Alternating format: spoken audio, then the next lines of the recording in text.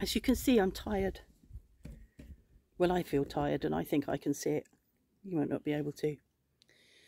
Um, I replayed the to myself before republishing the um, vlog I made a couple of years ago about our um, past history with our neighbour and um, was interested in many ways, but interested to see that two years ago I was um, looking a lot younger because I was two years younger and slimmer because we had not uh, we had just recently finished doing that 12 week um, fast 800 diet and I'd lost two kilos and I was on lower steroids. So I look a lot better to me. I'd love to look like that now but, but at the time I would have thought oh god look at the state of you. Um, so I was thinking that um, I was going to talk about um, I'm going to talk about autoimmune disease and um, I'm going to talk about it because there are many people that don't want to hear it and many people that want to throw um, you're eating the wrong food at me. Many people that are telling me that I need to stop eating inflammatory foods. And I want to say that um, it's not all about that. It's not all about that. And um, looking at the, there's a cat creeping up because I've started talking, she'll be winding round after watching that vlog, I realised that what we went through back then over a period of years from 2007 to 2000 in 2012, I think. It went on for many, many years. What we went through then was incredibly traumatic, incredibly stressful. There were times when I'd lay in bed and wonder whether he'd come in and um, with a gun now, he has never, since we put the wall up and we put the gate in and we did all the things that we needed to do to put in a boundary, a solid physical boundary, he's never set foot on our property and never threatened like that. But we felt threatened. I felt threatened. And it's, you know, how you feel is, is, is real. So, um, all of what we went through, all of the stress, all of the being reported to the gendarmes, the being um, having to go to court, um, having to go and see notaire, not notaire, well, the notaire and avocats, all of that was incredibly stressful in a culture that you're um, that you're new to, uh, a culture that you don't really understand. And there will be people that go, well, you should have understood it. Well, you can fuck off because you can't know you'd have to be incredibly intelligent, and I'm not, to know exactly what you're walking into when you move to another country. You don't know that. Um, and so much happened to us in those first few years, um, besides Notre Voisin, um, that was really stressful. And we'd come, both of us, from stressful jobs in the UK.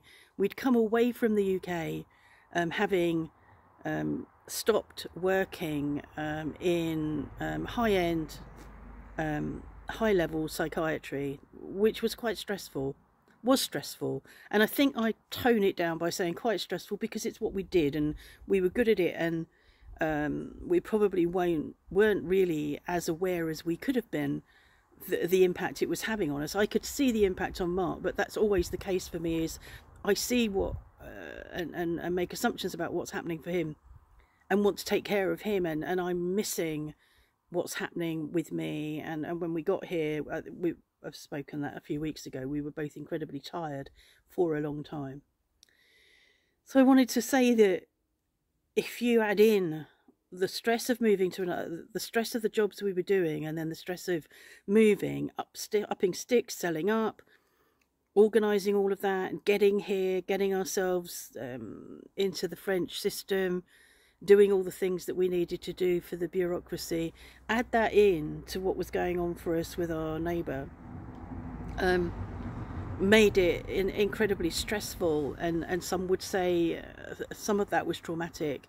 Being, you know, laying in bed worrying that he's going to come in with a gun is traumatic. Um, and you know there's a part of or there are some that might think that that's quite histrionic in or dramatic or catastrophizing but it didn't feel like that at the time.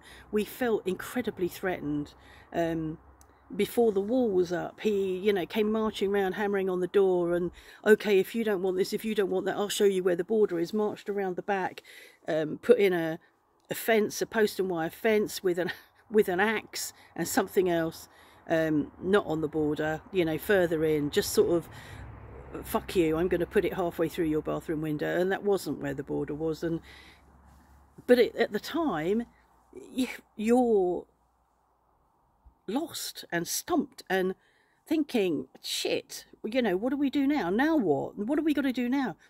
Policewoman turns up at the door on a, what day was it? It was a Sunday, turned up at the gate on a Sunday and said, will you come up to the police station next week? And you're thinking, what the fuck have we done now? And actually we hadn't done anything. There was a list of things um, that he'd complained about that, that actually were untrue. He complained that our dog was keeping him awake at three in the morning. We didn't have a dog. My daughter had a dog, and sometimes that dog was here during the day, um, but certainly wasn't here at night. That was just one of the things, but all of the things on his list of misdemeanours that we had committed were not true. So, um, but that's by the by. Um, so it's unsurprising that with all of that in my background that I haven't that I've come up with an autoimmune disease and that's just a small part of um, the causes of autoimmune disease you know there's sort of there's your diet there's what's happening to you in in your surroundings there's the trauma that you might have experienced the stress that you might be experiencing um, environmental factors, who knows, so many things. And then what happens is your body decides, well, I might as well start attacking you as well. And it's crap. It's really crap. And at the moment, I've got a doctor's appointment on Monday morning um, because I want to get my blood sugars checked. But at the moment, both Mark and I are really tired. For the last two, three days, I sort of think it's because I'm doing more because he's unable to do as much. And I think that's why I'm tired. But I feel like I'm dragging myself around and I'm thinking, you know, I don't like being on this level of steroids. And actually, I probably need to increase my steroids.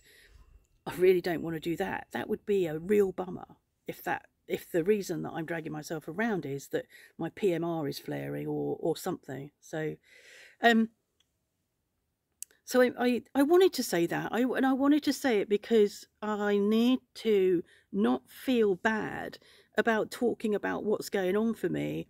And there are the odd few people that would go, I don't want to hear that, or you're moaning, or you're always moaning, you know, why can't you be happy? Well, fuck them. It's like, I am happy. I am happy and I can moan. Um, I've gone back to my, um, I've gone back for therapy and I, um, went back for therapy um, in response to expecting Mark to have actually had his operation on Wednesday. Um, and of course that's been delayed, but I went back because I was feeling so overwhelmed and I thought I need to go go and get make sure I'm supporting me um, and as my therapist said to me the other day, you know, remember that the the advice you get when you're on an aeroplane, and uh, you know, when you're if if you need to use oxygen, then put yours on first before you go to help your child. And it's true. She said, if you're not taking care of you, then you're not going to have all that you need to take care of Mark. And it's correct, and it's right. And um, I don't talk about my stuff because it wasn't acceptable in my family. So I'm talking about it here because I'm going to um, break that wall and say, why shouldn't I talk about it? Um, it's it's my stuff. It's about me, and this vlog's about me, um, and and I want to talk about what's real. So that's why I'm talking about it. Fucking therapy has brought up loads of feelings for me. I was so shocked. You know, I went in thinking, oh, I'm just going to go and get a bit of support. It's amazing what I have got back in touch with um, very quickly um, she's recommended that I do some writing and I've been doing some writing and uh, the writing really is bringing up stuff for me. So any of you out there who aren't in therapy, who are struggling with something, I recommend that you get yourselves writing like a journal um, and see where what that brings up for you. Because when I put pen to paper, I'm not expecting um, the feelings that I have to come up, it, it somehow gets rid of the overlay, which for me normally is sadness. It gets, but I'm happy, but you know, in respect to what's coming up for me. Um, it gets rid of the sadness and gets beneath that. And I discovered the other day that underneath that was some anger, um, which felt dangerous because anger has always felt dangerous for me.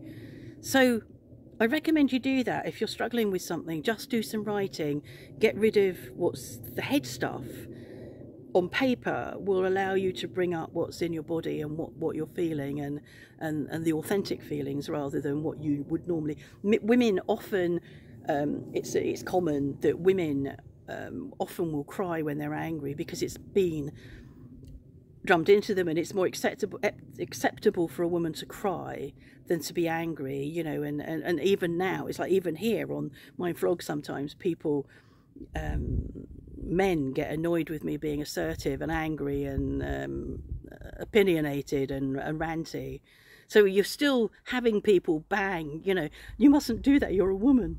They don't actually say that, but that's what they mean. So getting in touch with anger has been um, interesting. Getting in touch with feelings I wasn't expecting has been interesting. And um, I'm sure there's more to come. Um, but I but I need to do it. I think it's important that I find ways to um, make sure that I am taking care of me so that when Mark does finally go in for his knee op, that when he comes home I can take care of him um, in the way that I would want to, whilst taking care of me at the same time. I think I'm squinting now because it is really bright. It wasn't, it was cloudy. So I'm going to leave you with that. So that's my story so far today. And today is Friday. We've been shopping. Picked, well, I did the shopping online, picked it up. I've got a whole five day plan for Fast 800 meals, which I'm really pleased with because I've not done that for days. And I really think I need to do some low carb stuff that might help with our energy levels. So I've, I've got some really nice fast 800 meals to do, got the, the ingredients I need. So I'm going to be doing that. I'm going to do the supper for tonight is protein powered salad. Can't remember what it's got in it apart from chicken. I think it's got quinoa. Uh, I can't remember what else, but it'll be nice. I've had it before. Okay, Thanks for your indulgence and see you soon.